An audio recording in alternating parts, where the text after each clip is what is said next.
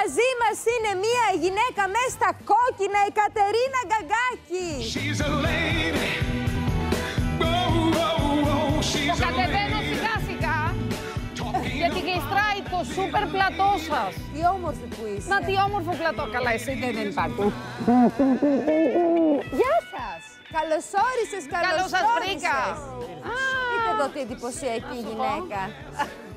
Ωραία η παρέα. Αυτό πώς το αντέχεις κάθε μέρα; Δεν το αντέχεις. Αρέσει. Ναι, Δεν αυτό. προλαβαίνουμε να μιλήσουμε. Το- Μα το ξέρω, το φαντάζομαι. Ξέρετε τι γίνεται, μας φέρανε εδώ να μιλήσουμε και μας λένε μην μιλάτε.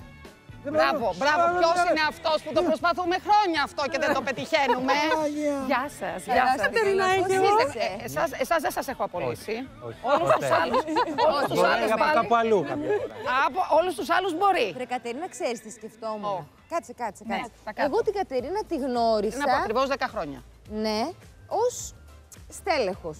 Ήταν διευθύντριά μου σε ένα συγκεκριμένο κομμάτι ε, Ναι, της εικόνας, του γραφείου τύπου, βεβαίως. marketing, πώς να το Βεβαίως. πω, ναι. Είναι Διευθύντρια επικοινωνίας στο κανάλι στο οποίο τότε Και πώς ξεκινούσε. γίνεται με έναν άνθρωπο που ξεκινάς έτσι να είσαι φίλος πολύ μετά; Και φίλος από αυτούς, ξέρεις, που δεν μιλάς κάθε μέρα αυτό το λίγο Αλλά όταν θα κουραστικό. μιλήσεις, είναι σαν και να έχεις ξαφνικά μιλήσει- στέλνεις ένα μήνυμα συνεχίζοντας μία συζήτηση που μπορεί να έχει ξεκινήσει πριν από Δύο ένα μήνα, μήνες. έτσι. Και την πιάνετε από εκεί που την είχατε αφήσει. Ναι, με ένα περίεργο τρόπο. Έχει μεγαλύτερη αξία αυτό. Για μένα πολύ μεγάλη. Ειδικά κομμάτι για της μένα φιλίας, πολύ βέβαια. μεγάλη. Και χτες σκεφτόμουν, επί, εμ, ερχόμαι ότι, με την ιδέα ότι θα έρθω, ότι έχουν περάσει ακριβώς 10 χρόνια.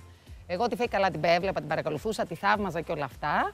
Και όταν με το καλό ήρθανε ε, στο σταθμό που ήμουνα, ε, μάλιστα τρομερό, είχα έρθει στην Τίνο, θυμάσαι; Και είναι φίλοι. Είναι, την αισθάνομαι φίλοι φίλοι. Το δε Γιαννάκη τον λέω ακόμα Γιαννάκη, γιατί ήταν ο Γιαννάκης. Γιαννάκης.